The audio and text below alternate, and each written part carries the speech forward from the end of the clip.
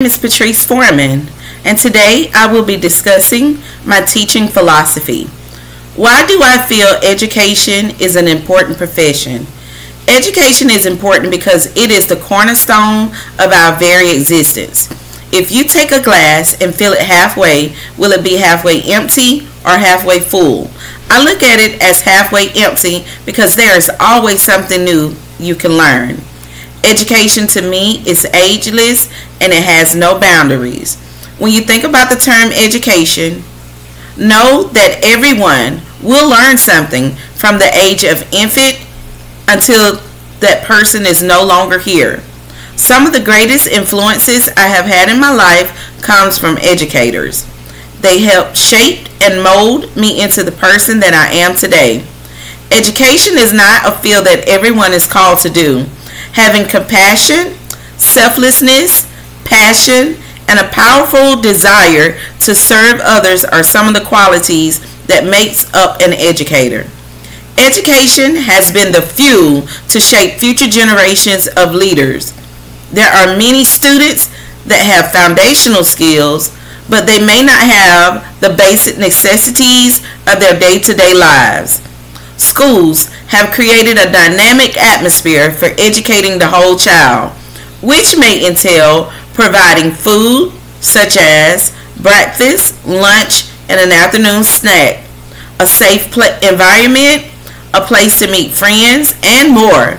The beautiful thing about learning is that no one can take it away from you. B.B. King. How do I like to be taught? Everyone who remembers his own education remembers teachers, not methods and techniques. The teacher is the heart of the educational system. Sidney Hooks. Reflecting on my educational journey of being a lifelong learner, I am reminded of my high school literature teacher.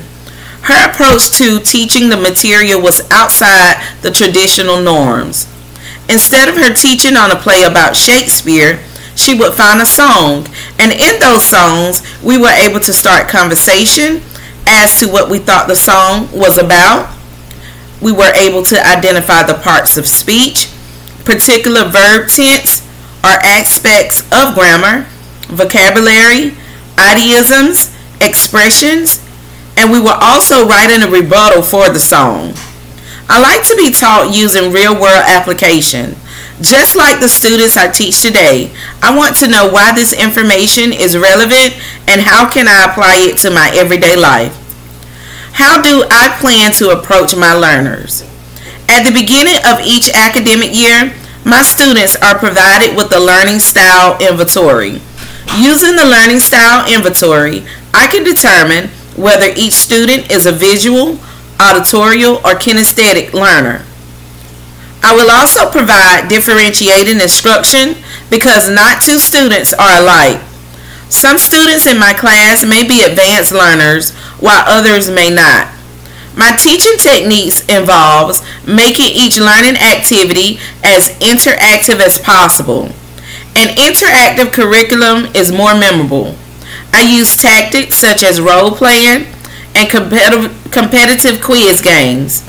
Instead of changing the curriculum, I changed the delivery. Behaviorism holds that all behavior are learned through interaction with the environment. Driscoll 2016.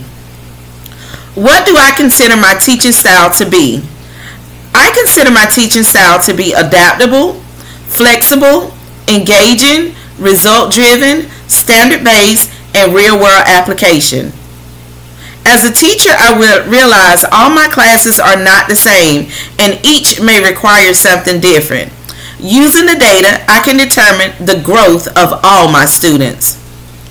How do I support learning?